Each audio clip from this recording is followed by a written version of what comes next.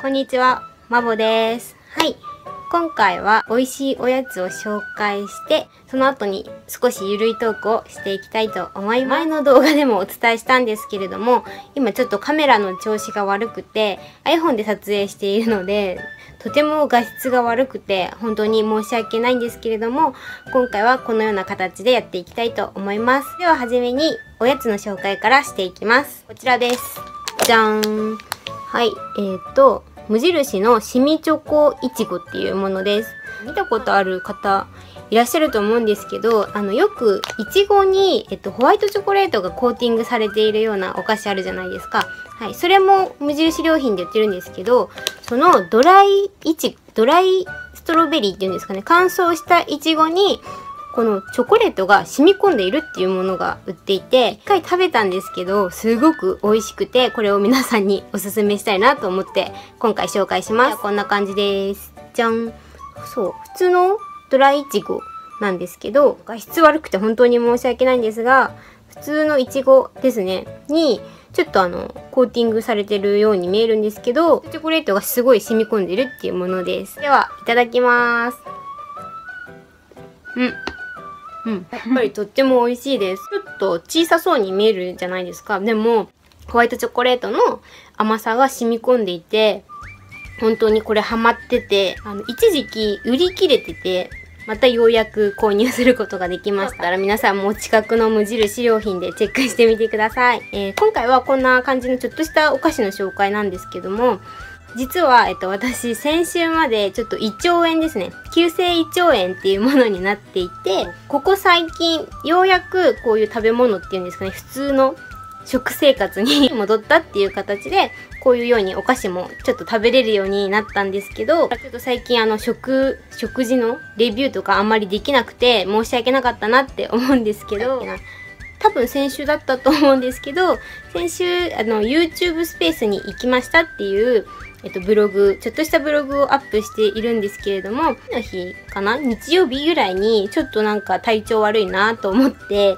なんか、その私がですね、はい、食欲が全くなくって、布団から出れないみたいな感じで、なんかずっとうーみたいな感じで、あの、で、まあ本当はその日曜日もちょっと予定があって、申し訳ないことにお断りしてしまったんですけど、日曜日だったから病院とかも空いてなくって、普段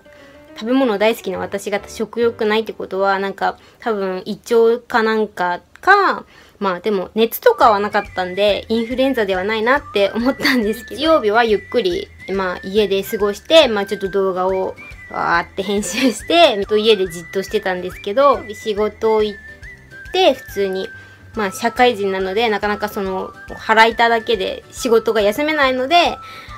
の、仕事に行って、ぱりなんか気持ち悪いし、全く何も食べない状態で行って、なんか食べちゃうと、まあちょっと汚い話、なんかこう、戻してしまいそうな感じっていうか、なんかモヤモヤみたいな感じだったから、月曜日は、あの、お仕事が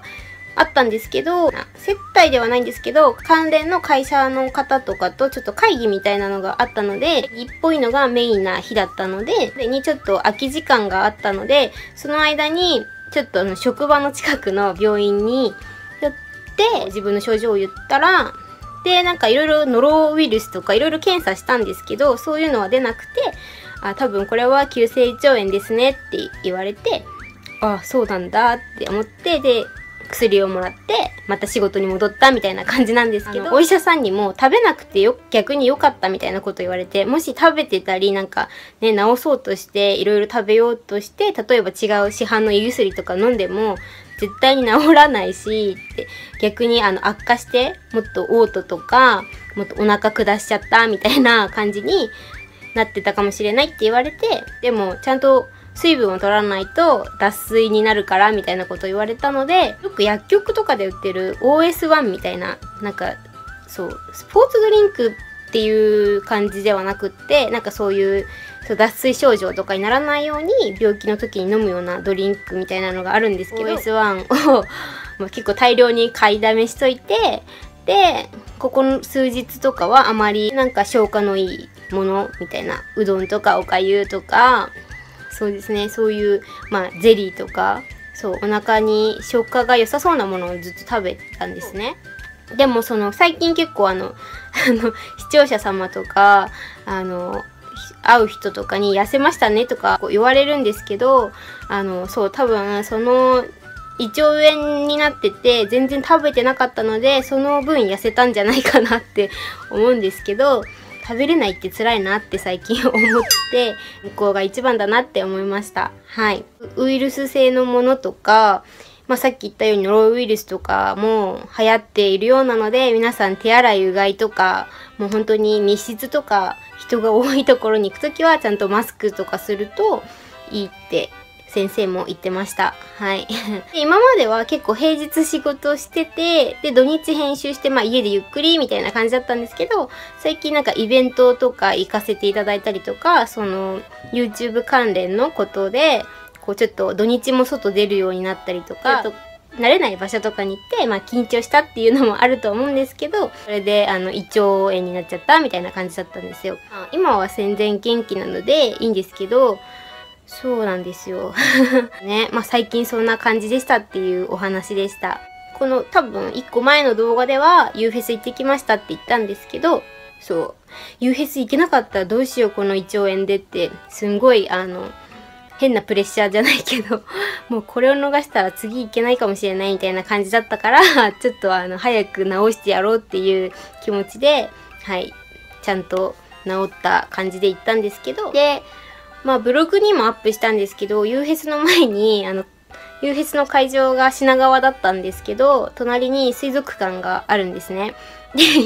そうまでは一人で行ったんですけど、あの水族館も久しぶりに行ってすごい癒されたし、あの、最近ペットショップでカワウソを見たんですよ。だから、カワウソを買い、え、ペットショップでカワウソ売ってるんだと思って買いたいなって思ったんですけど、なかなかか、ね、家でカワウソはね、ちょっとまだ一人暮らしだし、絶対大変だから買えないなとは思うんですけど、じゃあ水族館でカワウソいるって言ったから 見に行こうって思って、はい、あのはい、水族館に行ったよっていうブログもあげたんですけど、めめっちゃ可愛かったですね、カワウソ。やっぱもう、と、カワウソのコーナーのところには本当にやっぱり女性とか子供がみんな写真撮ったりとかしてて、私も負けずにこうブログのカメラをずっと回してたんですけど、ユーフェスやってた日なので土日だったんですけど、そう週末で一人であの、あの水族館に行く女の人ってなかなかいなくて、カップルさんとかファミリーとかで、こうみんな楽しそうに週末を過ごしてる中、なんかちょっと変な一人変な人がニヤニヤしながらこう動画をね、カワウソの動画とかアザラシとか撮って一人で楽しんでました YouTube 始めてからなんか一人でもどこでも行けるようになっちゃってなんかそろそろなんか女としてっていうか女性としてなんかそろそろやばいんじゃないかなって自分でも自覚はしてるんですけど自分が楽しくって視聴者様にね楽しい動画をこう届けられればいいなと思ったので、はい。そう、夕日行った時に品川駅で、こう、時間まで暇つぶそうって思って、れかな？なんかあるじゃないですか。デパートみたいな感じの、あの、商業施設が。ここにロロキシタン、ハンドクリームとか売ってるロキシタンがあったので、そこで、あの、なんか新作とかないかなみたいな感じで、見て、見つつ、なんかちょっとあの、ハンドクリームとか試供品で試したりとかしてたんですけど、ユーフェス？見に来た方なのかな？そういう視聴者様が声かけてきてくれて、フェスの会場で声かけていただけたら、なんかまだ、あって感じなんですけど、ハンドクリームこうなんか体験してる様を見られたなんかちょっと恥ずかしいなって思ったんですけど、あげてくれた方ありがとうございました。と、いつもどういう風に対応していいかがわからなくて、なんかいつもでへへへみたいな、あーみたいな、ありがとうございますみたいな、なんかすごいニヤニヤして、なんか U フェス楽しみましょうねみたいな感じで なんかすごい全然あのそういう対応がうまくできなくて申し訳なかったなって思うんですけどちょこちょこ声かけられるようになって自分も嬉しいなっていう気持ちでいっぱいでした。はい。はい。えっとちょっとねまた時間が長くなってしまったので今回はこんな感じに終わらせていただきます。えっと、最後になりますが、チャンネル登録者数が、はい、2000人突破しました。イエーイ、はい、本当にありがとうございます。質が悪い時に皆さんにちょっと感謝の気持ちを伝えるのは申し訳ないなって思ったんですけど、いつも視聴者様が、マボさん2000人行ってますよって言ってくださってやっと気づくみたいな感じなんですけどね私は多分変わらずこういう感じでマイペースにやっていくと思いますのでこれからもどうぞよろしくお願いいたします。はい、これまで、えっと、いろいろ協力とかサポートしてくださった方々